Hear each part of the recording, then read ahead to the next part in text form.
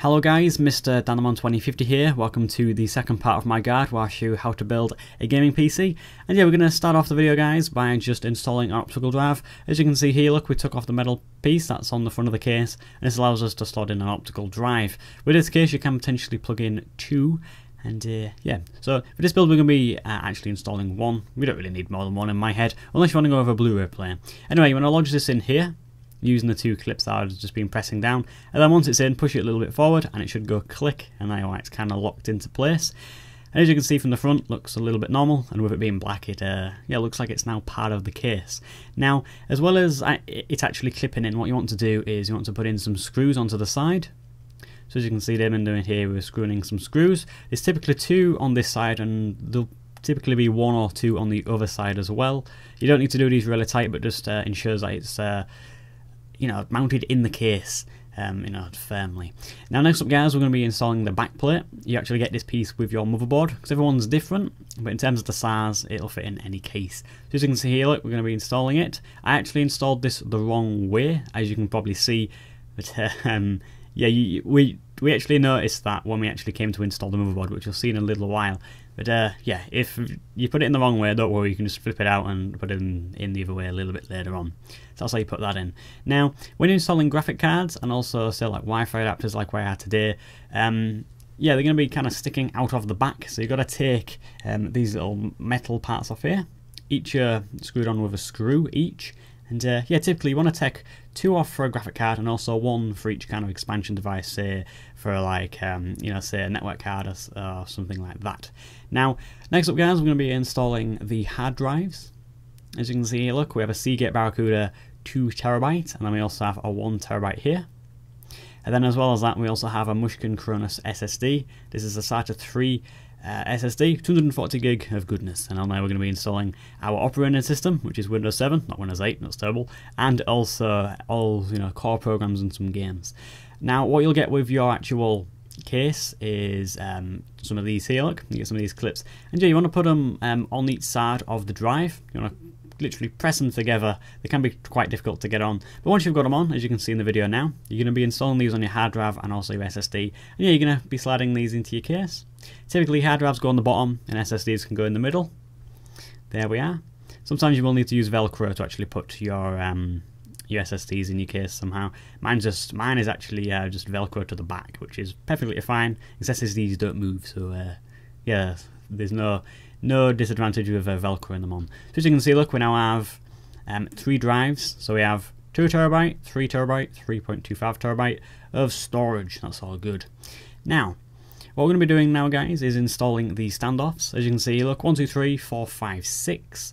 We've got another one here, and you've also, and, and then yeah, you've also got another 3 on the top. So it's 9 in total. There's 8 in currently. I'm just going to put the last one in here. For some strange reason, this one wasn't already put in, but uh, depending on what size motherboard you go with, um, they're going to be different. So that one's now screwed in. So as you can see, we've got nine. Standoffs are just here to prevent an electrical kind of short. So the motherboard cannot touch the case because electric will be flying all over the place. Now to install the motherboard, you're going to be needing nine screws and also a screwdriver. And as I said, if, if you're installing a smaller motherboard, um, you'll typically need six and not nine. Anyway, you want to line this up with the backplate that we've just put in in which I kind of said, yeah, I, I kind of put it in backwards first time, but it doesn't matter at all. You just flip it out. As you can see, look, um, the standoffs, um, I kind of, you know, poking through the holes in the in the motherboard there. Yeah, you just want to put in the nine screws in there. So I'm just going to show you putting a few of these screws in. We all know how to put screws in holes with a screwdriver. Uh, very nice and simple there. So as you can see, camera work is a little bit shaky, but oh well, think should get the gist about what is actually going on. So you've got nine screws that you want to be putting in, and uh, yeah, this is going to fix the motherboard to the case, so, so then you can stand the case up. So just putting one in there, just going to fasten that in. You want to do these pretty tight, and then just putting a second one in there, and then etc etc. You know how to put screws in, that's all good. Anyhow, we're going to be installing the power supply, and as I said, we've got um, an actual Corsair RM650. So this is going to be installed at the bottom with a fan facing down. And as you can see, there's a load of cables. We've plugged all the cables in. Um, typically, the way I want to do it is, um, well, I should say, typically the way I put a computer together, if, if I don't use any cables, I, I will then unplug them later on. Now, yeah, you want to be just pressing your actual power supply just to the, literally, just the bottom left of the case. and you want to push it right to the back. And as you can see, there's some screw holes. So one, two, and three. You want to put them three screws in, and then uh, yeah, it'll be all be good. As, as, you can see on on the top left, it looks like there's a hole there for a screw, but on this power supply there's only three, so you know keep it like that. So one goes in there. This actually, this screw, I will not lie, was actually really difficult to put in. I was like, I can't get it in. So it was weird, but um, yeah, I've, I've no idea why. So now I've got all the three screws in. We're just going to tighten um, the last two there, which I did off camera. So there we are. Supply is now installed, and uh, yeah, as you can see, we've got a load of cables. Now with these cables, you want to what you want to do is put them through the hole on the case. So you want to push all the cables through to the back of the case, because then we're going to reroute them in um, to the components when they need them, and that's going to allow us to have a much cleaner um, cable management job. And you'll see that at the end of the build. And yeah, you'll see how good the cable management is because that's one thing I wanted to prioritise in this build and something that my friend Damon wanted. This build is not personally for me, but uh, you know. anyway, so now the power supply is installed and all the cables at the back. Um, what we're going to be doing now, guys, is connecting some power. So that's the 24 pin um, power cable for the motherboard, and that one there is the 8 pin for the processor. Um, a lot of people say that one's also for the motherboard. Yep, it goes in for the motherboard, but it powers the CPU. Now, as I said, we're going to be threading the actual um, cables back through the case to then power them. So I'm just going to put that through there, then plug it into there. So as you can see, cable management is is uh, good when you do it this way. Because then you don't have cables all over the place, literally. So that goes in there. These cables can be difficult to put in if, if you just bought a brand new power supply. But uh, yeah, you will get them in eventually. Anyway, now we're going to be installing the 8-pin.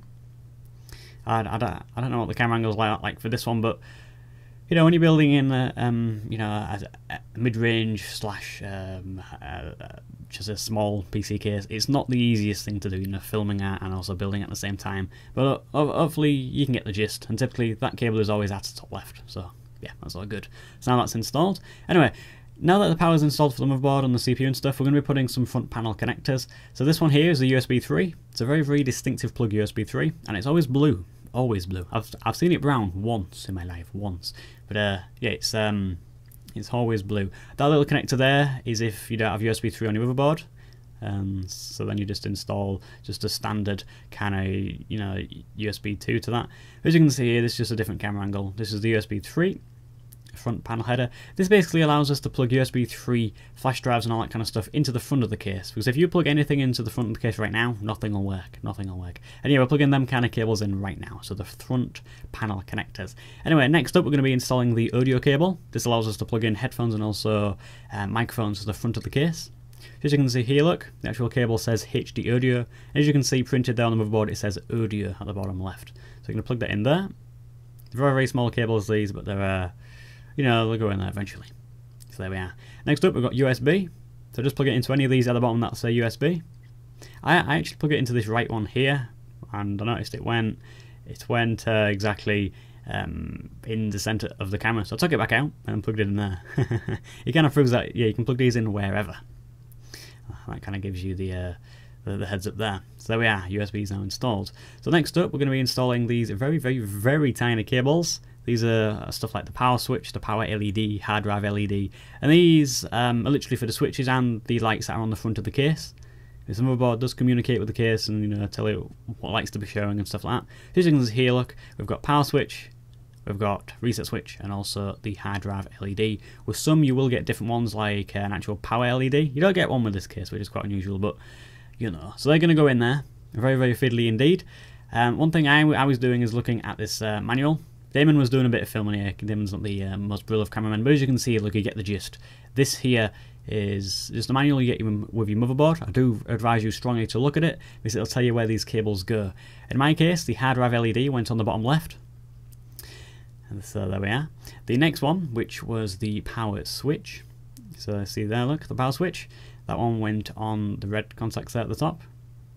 And then just glancing over to the manual, I saw that the reset switch went just below the power switch. So I decided um, to actually take the power switch back out, plug that one in on the bottom there.